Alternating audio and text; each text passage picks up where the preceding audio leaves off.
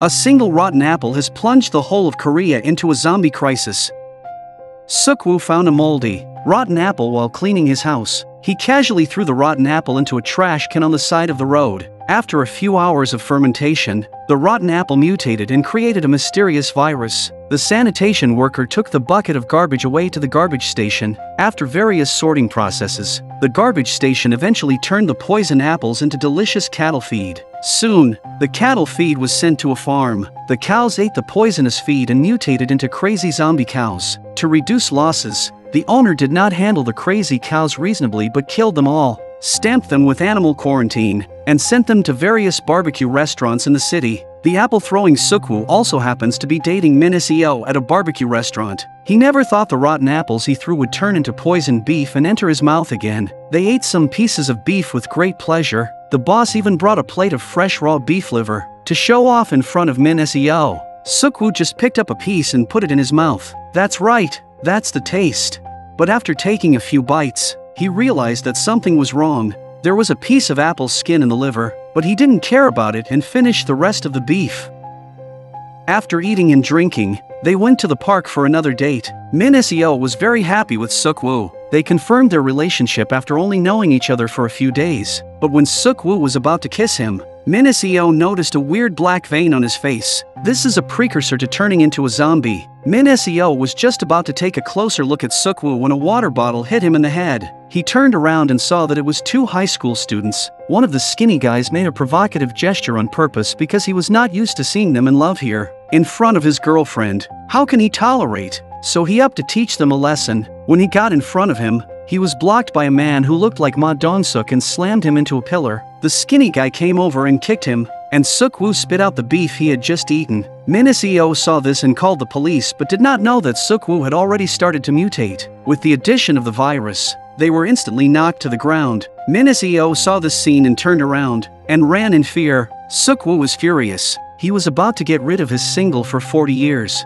but they both ruined it. He was so angry that he spit on the skinny guy's face. But a strange scene appeared. The old spittle actually into the skin of the skinny man. Soon, they also underwent a mutation. At this time there was just another couple there to show their love. For this kind of intimate behavior, of course, they cannot tolerate directly jumping on.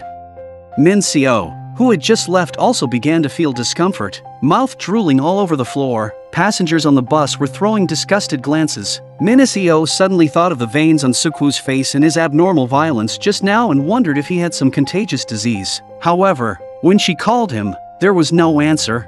At this time, the barbecue restaurant was still doing brisk business, and more and more people were eating beef with the virus. The number of people who began to mutate on the streets also gradually increased. Some start to mutate, some vomit, and then they lose their minds and start biting others. As the situation worsened, the news reported the incident, but they couldn't find the source of the outbreak. It was thought to be a simple flu virus. So on the advice of experts, epidemiologists began to euthanize poultry to stop the spread of the virus. But after some operations, the spread of the virus was not slowed down. A reporter tried to interview the mutated Ma Dong-suk, but he was bitten to death right in front of the camera.